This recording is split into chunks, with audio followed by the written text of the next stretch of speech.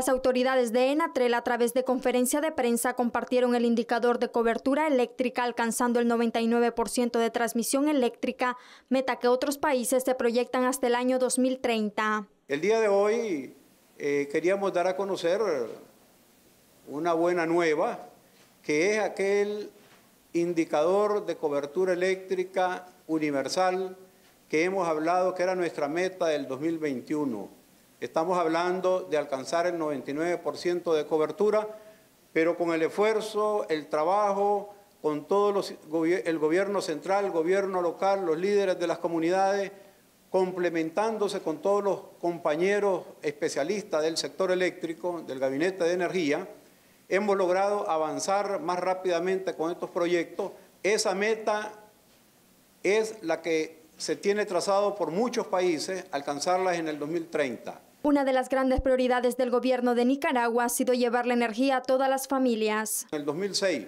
solo la mitad de las familias nicaragüenses tenían acceso a la energía eléctrica. Y hoy mostramos lo que ha hecho nuestro gobierno para nuestro pueblo, que toda, casi todas las familias nicaragüenses tengan acceso a la energía eléctrica. Otra de las metas trazadas por las autoridades del Ministerio de Energía y Minas ha sido la transformación de la matriz energética para no depender de los derivados del petróleo. Al revisar el cambio de la matriz energética, cerrando el 2020, alcanzamos arriba del 70% de energía que consume el país con fuentes renovables.